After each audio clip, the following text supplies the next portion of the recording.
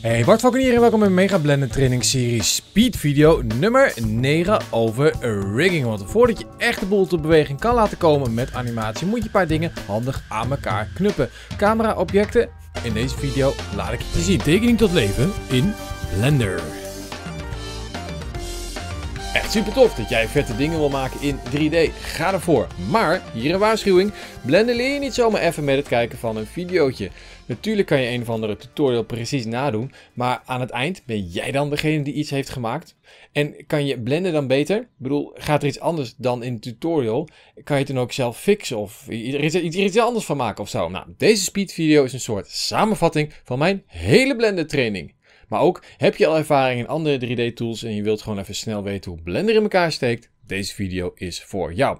Of als je ondanks deze waarschuwing denkt, oh, ik heb geen zin in al die video's kijken en er echt tijd in steken. nou, ook prima. Succes met deze speed video. ik zie je wel terug op mijn site maakietsmedia.nl slash blender. Daar staan alle video's, de blender doelopdrachten en het blenderboek met van elke video een samenvatting op papier. Maar goed, nu die turbo boosters aan en gaan. En ik heb wat voorbereid in Blender, de Marshmallow Man. De Marshmallow Man die vliegt door de lucht, ik weet niet hoe het kan. Maar in ieder geval, hij is zijn marshmallow aan het roosteren bij het vuur van de straaljager. Moet je kijken, ik heb hier als wereldachtergrond de Sky Texture gebruikt. Het is gewoon één noot in een world node. En het ziet er heel erg mistig en realistisch en vet uit. En ik zit hier ook in cycles, dus het, het licht van de straaljager schijnt overal op. Nou, super vet. Maar maar goed, daar uh, gaan we het niet heel erg over hebben. Kijk, deel 3 materialen maken en ligt op speed video nummer 8. Waar we het nu over gaan hebben is rigging. En rigging is eigenlijk het aan elkaar knuppen van objecten of je camera, zodat je er handig later mee kan animeren. Dus echt de boel tot beweging kan brengen. Het eerste wat we gaan doen, wat ik laten zien, is parenting. Ik heb hier die straaljager en die straaljager bestaat uit verschillende objecten. Ik heb hier gewoon eh, de body en de cockpit, eh, twee raketten en het vuur en zo. Volgens mij ook nog een helft van die piloot. Nou, in ieder geval, je snapt het allemaal losse dingen. En als je die uh, wil gaan laten bewegen, bijvoorbeeld naar voren, dan blijft de rest staan. Dat is natuurlijk totaal niet handig. Beter uh, knup je dingen aan elkaar, maar kun je ze wel uh, los van elkaar bewegen. Nou, ik wil dat het allemaal losse objecten blijft, maar ik wil toch dat ze meebewegen met elkaar. Dat kan door middel van parenting. Bijvoorbeeld deze raket. Dan doe ik Shift Select de body van de straaljager en dan doe ik Ctrl P. Krijg ik hier het Set Parent menu met allemaal instellingen. Ctrl P dus. En dan kan ik zeggen Set Parent to Object. En dan zit hij vast. Nou, je moet het echt letterlijk zien als een ouder en een kind. Parent dus. Want dit zeg maar is het, uh, is het kind. En die kan nog uh, los en uh, vrij bewegen zeg maar. Maar je ziet dat er nu een, een stippellijntje te zien is. Van hey, hij is wel geparent. Zit vast aan het ouder van het kind. Dus als ik die straaljager naar voren beweeg. Dan gaat die raket dus mee. Want die is eraan geparent parent. En als ik deze kan ik nog steeds zeg maar wel een andere plekje geven, maar hij zit er nog steeds aan uh, vast. Geparent dus. Nou, dat kan ik dus ook met die andere raket doen. Raket selecteren, shift select de body, ctrl P, set object to parent. En als ik dan de straaljager beweeg, dan gaan ze allemaal mee. Nou, dat kan ik ook doen bijvoorbeeld met de cockpit, shift select, uh, nou, de cockpit te selecteren, shift select de body, ctrl P en set parent to object. En dan heb ik hier ook nog, doe ik eventjes H, de cockpit eventjes hiden. Dan heb ik hier de helm zeg maar en die wil ik ook aan piloot vastmaken. Ctrl-P, zet object. En dan doe ik de piloot zelf aan de body van de straaljager. Ctrl-P, zet parent object. Alt-H om de cockpit weer te unhiden. En als ik nu de straaljager beweeg, dan beweegt alles dus mee. Um, maar let op, hè. Uh, die helm zit dus vast aan de piloot en die piloot zit dus vast aan de straaljager. En op die manier zie je zeg maar, dat je een soort van hiërarchie krijgt. De helm aan de piloot, de piloot aan de straaljager. Dus als ik de straaljager beweeg, dan gaat de helm dus ook uiteindelijk uh, mee. Nou, dat zie je ook terug in de outliner. Je hebt hier de straaljager body, die zit alles aan vast. Maar je ziet hier bijvoorbeeld die piloot de straaljager en hier de helm. En hier zie je ook zeg maar de hiërarchie terug van al dat geparent zeg maar. Super handig. Nou, dat kan ik ook doen uh, met de Marshmallow Man. Maar het kan ook uh, direct in de outliner nog veel sneller. Stel ik heb hier deze marshmallow en wil ik vastmaken aan het poppetje. Dan kan ik hier de marshmallow dus selecteren. En dan ga ik die slepen. Maar ik houd nu shift ingedrukt en dan sleep ik hem op het poppetje blauw-rood en laat ik hem los. En dan heb ik dus hetzelfde gedaan als net met Ctrl P. Want nu zit de marshmallow geparent aan het uh, poppetje. Dus dat is best wel erg handig. Oh, deze mond zit nog niet in de goede collectie. Doe ik even gauw in een marshmallow man. Zo, ik heb bijvoorbeeld een mond met tanden. uh, linksklik en sleep en dan met shift op het poppetje gooien en het haar ook uh, linksklik en sleep en dan met shift ingedrukt houden op het poppetje slepen en dan zie je dat alles onder het poppetje valt zeg maar. Dus alles zit dan nu geparent aan het poppetje, hoewel je deze ook nog eventueel zelf los kan uh, animeren als je dat zou willen. Maar volg nu de bewegingen van het poppetje. Toffe toepassing van uh, dat parenten is ook de camera om objecten heen te laten draaien. Uiteraard kan je dat gewoon uh, zelf regelen, maar een hele toffe is dit. Ik doe eventjes hier de 3D cursor, Shift A, een mesh en doe ik een empty plane axis. En met S maak ik een beetje groter, dan uh, zien we hem beter. En met F2 kan ik hem zelfs nog een, naam geven en noem ik het camera rig enter. Wat ik dan ga doen is deze camera selecteren en dan Shift select je camera rig empty en dan met Ctrl P set parent to object. Dat betekent dus dat ik de camera nog steeds alle kanten op kan bewegen, maar dat de camera ook vastzit aan de empty. Dus als ik de empty beweeg, beweegt de camera, beweegt de camera, dan beweegt alleen de camera, niet de empty. Goed, dat is het hele idee van uh, parenten. Wat is daar nou zo handig aan? Gaan we 7 eventjes in uh, top view en moet je kijken, als ik dan deze empty pak en met R ga ik hem draaien, dan draai ik dus heel erg strak om die uh, straaljager en, alles heen. En als je dat wil doen door alleen maar de camera te draaien, nou, dat levert je echt een heleboel uh, gedoe op. Want het blijft nu altijd gericht op die empty en dus op de plek waar die empty staat. In dit geval op deze straaljager en je object. En die kan je er bijvoorbeeld ook animeren. Bijvoorbeeld I. Doe ik hier locatie rotatie, ga ik een end verder. Doe ik RZ, dan draai ik hem en bijna een rondje. En doe ik I, weer locatie rotatie. En als ik dan zo doe dan draait hij eromheen. Meer over animatie in de volgende speed video en deel 5. Uh, eh, natuurlijk, nou, ik had net de locatie dus ook gedaan. Maar je kan hem ook bijvoorbeeld, um, ik hem FGZ, doe ik hier locatie, rotatie en dan draait hij dus, komt hij er op deze manier in. Nou, met zo'n uh, camera geparent aan zo'n empty heb je gewoon veel meer controle over de camera en de bewegingen van. Echt doen dus. Wil je dat weer ongedaan maken, dus zeg maar niet meer parent, dan druk je, uh, selecteer bijvoorbeeld deze raket en doe ik op Alt-P en dan staat hier Clear Parent en dan heb ik hier Clear Parent en als ik nu de body beweeg, dan blijft dus deze raket staan. Maar wat uh, ook kan trouwens, is, uh, stel je voor ik heb deze raket uh, een beetje bewogen of die uh, hele straaljager is een stukje verder gegaan. Kijk, als ik nu deze selecteer, ik doe Alt-P Clear Parent, dan gaat hij dus weer terug naar de oorspronkelijke positie. Wil je dat niet, zeg maar, wil je dat hij eigenlijk op de nieuwe positie blijft staan, dan kun je ook Alt-P weer doen en staat er Clear en Keep Transformation. En daarmee behoudt hij dus de transformatie die hij heeft gekregen doordat hij geparent was, maar blijft hij dus, is hij dus nou, met Alt-P dus niet meer geparent, maar is die wel op de uh, nieuwe plek, blijft die dus staan. Dus met Alt-P kun je dat dus doen en kun je dus kiezen tussen Clear Parent of Clear en Keep Transformation. Dit is over parenting, uh, super handig. Oh, het vuur zit los, maakt niet uit. We gaan door naar de volgende en dat is Shape Keys. Ja, want dit zijn natuurlijk gewoon eigenlijk harde objecten. Het zijn gewoon vormen, je puntenranden, vlakken, edit modus, je weet het allemaal wel. Maar het tof is natuurlijk om zo'n poppetje te laten bewegen. En dat betekent dus dat ik de vorm moet gaan veranderen.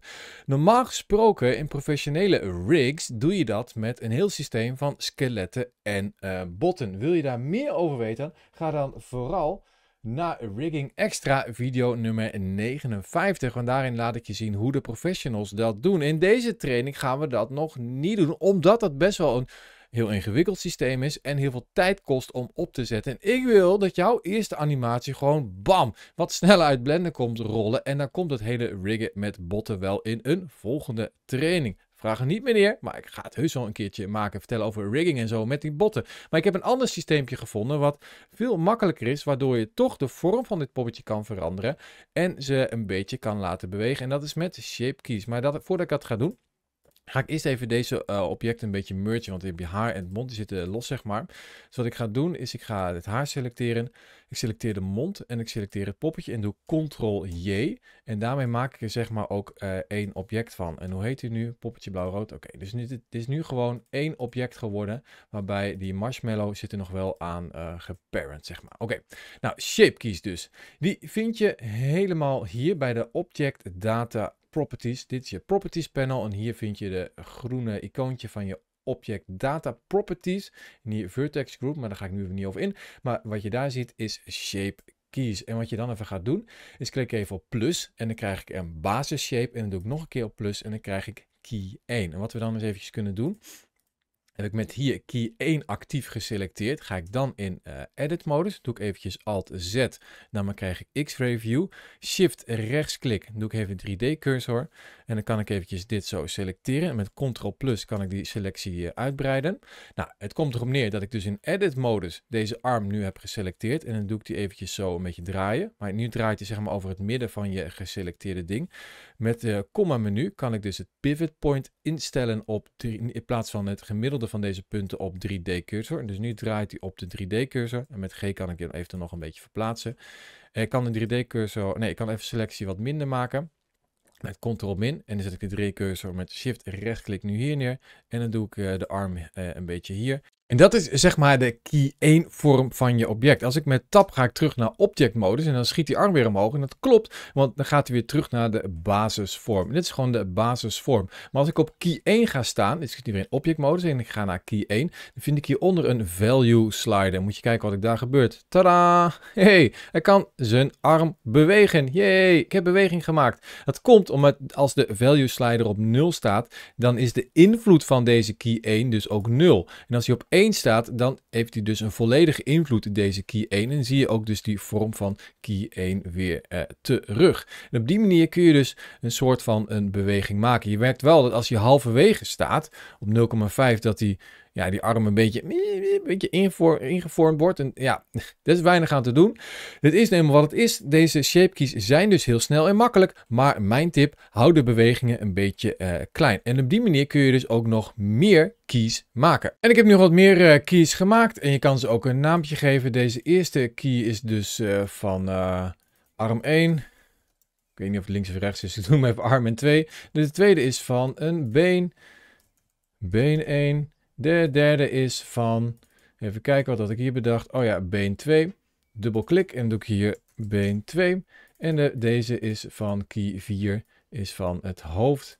En dan doe ik hier hoofd. En dan had ik er nog een vijfde. En dat is dan uh, nog een arm. Oh ja, eh, arm 2. Arm 2. Nou, op die manier kun je dus je poppetje dus op die manier laten bewegen. En je kan dus een vorm creëren door een mix te maken van al deze value sliders. En op die manier dus een, ja, een mix van al die shapes te krijgen en op die manier dus uh, mee te gaan. En die, ja, hey, kijk, hij is geparent, hè, deze marshmallow, maar je ziet dat hij niet meegaat met zijn arm. Maar daar heb ik ook een oplossing voor, dat is de hoek modifier. Dat ga ik je straks laten zien. Maar op die manier kan je dus keys maken en op die manier deze value slider dus instellen voor al je keys en op die manier je poppetje beweging geven. En je zegt, nou, dat beweegt nog niks. Dat klopt. Maar deze value slider kan je animeren. Er zit hier een bolletje achter. Dat betekent dat je keyframes kan zetten op deze values en op die manier beweging creëren. Maar dat ga ik je laten zien in deel 5. Animatie maken en ook speed video nummer 10. De volgende. Maar hey, heb je het in ieder geval ingesteld en staat het klaar. We moeten het nog hebben over één heel erg belangrijk uh, vinkje. En dat hele belangrijke vinkje is dit relative. Hier zo, er staat hier een vinkje aan bij relatief. En dat vinkje staat nu aan. Dat betekent dus dat deze keys relatief gebruikt worden, maar je kan ze ook niet relatief gebruiken, oftewel absoluut. En wat is er dan uh, aan de hand? Kijk, als hij op relatief staat, dan doet hij zeg maar ze allemaal tegelijkertijd en dan kan je dus een mix maken tussen alle keys. Maar als je dus relatief uitzet en dus absoluut gebruikt, dan kun je hier met deze evaluation time kiezen dat je dus eerst de basis hebt en dan gaat hij naar 1. Arm 1, been 1, been 2, hoofd 2, arm 2. Dat is je dus niet een mix van maakt, maar achter elkaar doet. Kijk maar, nu gaat hij eerst deze arm doen en dan het been, andere been, hoofd en dan het andere arm. En dan doet hij ze dus uh, achter elkaar in plaats van dat hij ze uh, inzet als een, een, mix van allemaal. Nou, wat, je, wat jij wil gebruiken uh, hangt heel erg af van hoe jij de boel wil gaan animeren wat je zelf wil. Maar kan ook gewoon weer terug switchen naar rela dan eventjes door naar de hoek modifier. En ook eventjes gauw een ander project. Dit is de doelopdracht van video nummer 58. Vastmaken met een haak. Nou, wat is het idee? Kijk, ik heb hier uh, de straaljager. Dit is het voorbeeld. En die zit allemaal alles aan elkaar uh, geparent en zo. Nou, dat heb je net gezien. Maar dat niet alleen. Als ik dit poppetje beweeg, tada, dan gaan die touwtjes ook mee van de parachute. Hoe vet is dat? Nou, die touwtjes zijn geen meshes, uh, die zijn, het zijn Bezier curves. Nou, um, het is een speed video, dus ga ik niet uitleggen wat ze zijn. Kijk vooral video nummer 58 over vastmaken met een haak als je daar meer over wilt weten. Maar hoe fix je dat nou? Kijk, dit is gewoon hier uh, geparent aan de straaljager. Zie je, de straaljager beweegt eigenlijk alles. En die uh, skis zitten ook weer vast aan het poppetje. Nou, anyways, hoe krijg je die touwtjes, dus die BG curves nou zo vet uh, dat ze meebewegen en vervormen als het poppetje beweegt? Nou, heel simpel trucje. Je gaat hier het poppetje selecteren en dan met shift, ik doe even een gauw screencast kiezen aan, die had ik hier nog niet aangezet. Gauw, snel, uh, speed video, snel, snel, snel. Ik heb hier het poppetje aan en dan met shift select de BG curve. En dan ga ik met tab in edit modus en dan selecteer ik het uiterste puntje van de Bezier-curve. En dan komt er een sneltoets. Dat is Shift-H. Uh, nee, Ctrl-H, sorry. Ctrl-H. En er staat de hoekmenu. En dan doe je hook to selected object. En er lijkt er niet zoveel gebeurd. Behalve dat er nu een modifier is toegevoegd aan deze Bezier curve. En waarom zou je dan niet gelijk in het menu add modifier en modifier toevoegen? Eh, mijn ervaring is dat dat uh, niet zo goed werkt. Dan krijg je een soort van bug. Dus je moet het echt doen via de sneltoets Ctrl H. En als ik nu het poppetje beweeg, zie je, tada, dan gaat dit die Bezier curve dus heel erg vet mee. Nou, nog een keertje dan. Kracht van herhaling. Shift select en dan Shift poppetje selecteren. Shift select de BZ curve, dan met tab in edit modus, dan het uiterste puntje selecteren en dan Ctrl H, hook to selected object en dan krijgt deze BZ curve dus een uh, hoek modifier en dan kan ik hier dus, moet je kijken wat er gebeurt. Het poppetje die kan, kan je alle kanten op animeren en de touwtjes die uh, kloppen dus met hoe je dat uh, doet. Super vet die hoek modifier. Nou, die hoek modifier in combinatie met die uh, shape keys, nee, het werkt nog niet helemaal. Ik heb niet voor elkaar gekregen dat die dan ook uh, deze hand volgt. Dus voor nu is de enige oplossing deze marshmallow man, dus deze marshmallow selecteren, shift select het mannetje en dan ctrl J en dan join ze, en dan heb je ze gewoon als één object en dan gaat deze marshmallow wel mee als je hem dan tenminste, ja, moet je wel in arm 2, moet je wel, zeg maar, dus uh, ook in edit modus even op de goede plek zetten. En dan ga ik mijn tab even uit edit modus. En dan uh, gaat hij dus wel mee. Zoiets zou wel kunnen. Maar uh, ik ga nog eens een keertje zoeken naar de perfecte combinatie tussen hoek modifier en de shape keys. Maar goed, genoeg erover. Door naar iets heel erg anders vets. En dat is constraints. Constraints zijn letterlijk beperkingen. Ik heb hier eventjes de camera en hier dus de, straaljager en hier de camera view. En de camera kan je natuurlijk alle kanten opdraaien wat je maar wil. Maar ik wil het beperken, constraints dus, naar een target. En dat is de straaljager. Met andere woorden, dus waar je de camera ook is, dat die altijd is gericht op die straaljager. Selecteer in je camera en ga dan in je Properties panel naar je Constraints tab toe. Hier zo. En als je daarop klikt, vind je hier Add Object Constraint. En het zijn er uh, best wel veel, maar ik ga je er twee laten zien. En de eerste is Track 2. En dan vind je hier een target.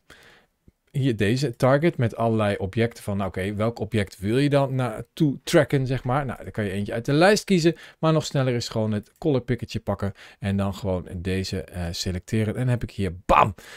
Dat de camera, moet je kijken als ik het beweeg. Je weer geluidseffect erbij. Op naar de ondergaande zon, Marshmallow Man. Hm.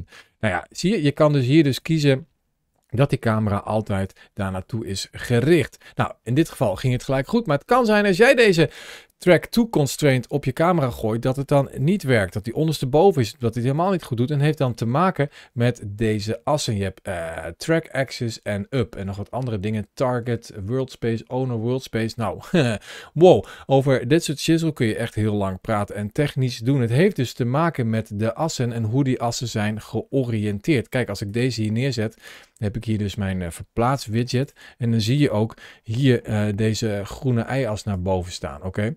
Maar als ik deze hier heb, dan zie je hier dus de blauwe z-as naar boven staan. Nou, um, dit is een speed video. Mijn advies is, klooi gewoon een beetje met de assen. Probeer ze gewoon allemaal net zo lang tot het die doet wat hij moet doen. Kijk, als ik deze op z zet, dan, uh, nou, dan doet hij het niet. En als ik uh, deze op z zet, dan uh, staat het totaal andere kant op. Dus um, ja, klooi gewoon een beetje Ten zorg ervoor dat hij, nou, je, hebt een paar mogelijkheden. En voor je het weet heb je de goede te pakken. En moet je kijken waar ik hem ook op richt. De camera, waar ik de camera ook neerzet, hij blijft altijd op de straaljager gericht. De track to constraint. En wat je ook eventjes kan doen, trouwens ook al grappig, is rechtermuis. Dan doe ik shift A. En doe ik hier een empty toevoegen, plain axis empty. Zo, maak hem een beetje groter.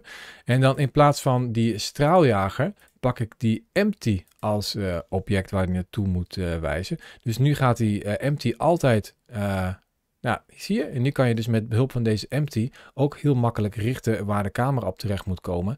En dan kun je daar dus um, een beetje mee spelen. Dus track to naar een empty kan ook een heel handig trucje zijn. Een hele toffe constraint is de follow pass constraint. Wat voor een pad? Nou, een Bezier-curve. Dit hier is een Bezier-curve die bestaat uit hendels en die kun je schalen en uh, groter maken en verplaatsen. Op die manier een soort van een lijntje zetten in je scène. Een lijntje die nooit in je rennen terecht zal komen omdat die oneindig dun is. Meer weten over Bezier-curve. Kijk eventjes filmpje nummer 59 Rigging Extra. Daarin ook uh, dit follow pass constraint. Maar goed, even heel snel dan. Hè. Ik heb hier dit uh, pad dus, deze Bezier-curve en deze camera. Nou, wat ik ga doen is op deze, deze camera selecteren en dan op Object Constraint doe ik hier Follow Path. En deze camera moet dus dit pad volgen. Die kan ik hier bij Target ook weer neerzetten.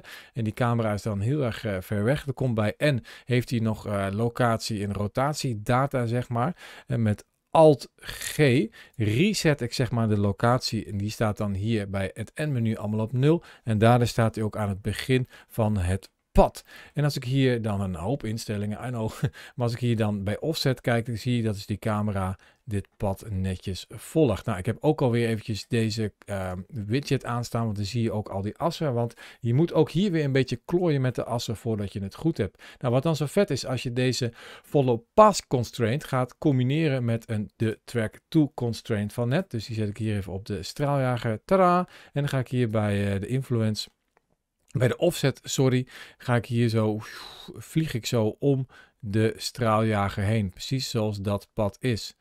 En dan op die manier kun je dus een soort van ja, 3D rails maken waar je camera overheen glijdt. En die zal altijd gericht zijn op uh, je target. Nou, als er iets misgaat en hij uh, doet rare dingen, dan moet je dus een beetje klooien met die assen. Want eh, assen kunnen op global en op local staan.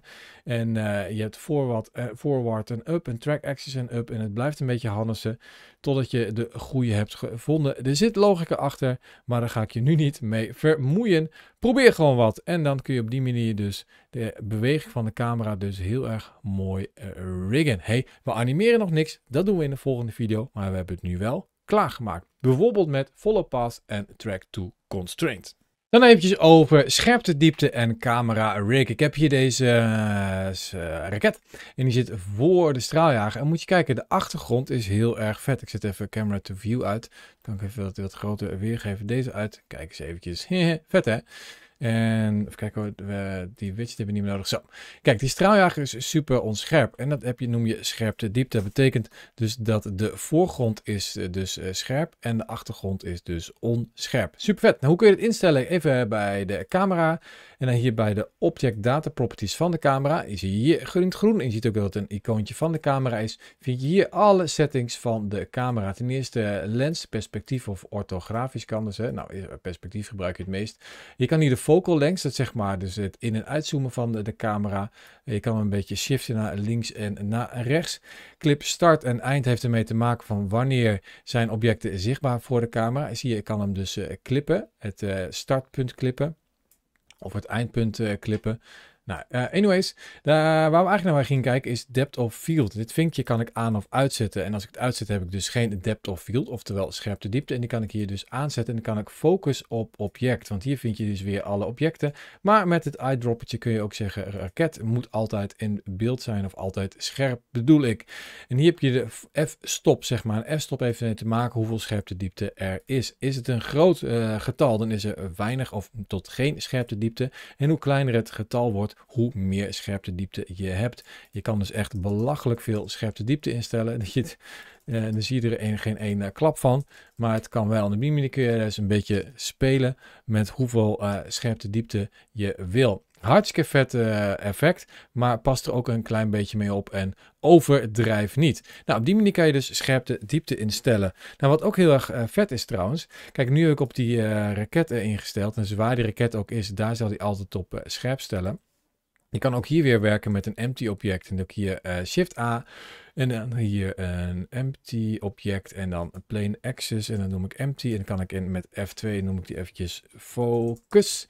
En in de settings van de camera kies ik dan niet voor raket, maar kies ik voor focus. En op de plek waar de empty object is, heb je dus scherpte. Kijk, ik kan hem hier op de uh, straaljager zetten, maar ik kan hem ook in één keer naar de raket verplaatsen. En op die manier kun je dus een heel vette focus pool uh, animeren, bij wijze van dat die eerste raket afschiet en dan komt de raket naar de camera toe en dan zal die dus scherp stellen op de raket. En op die manier heb je dus een empty object wat je kan dus gebruiken als scherpstelpunt. Super handig. Alright, dat was het voor deze speed video nummer 9 over parenting. Ging je snel of wil je nog iets meer weten?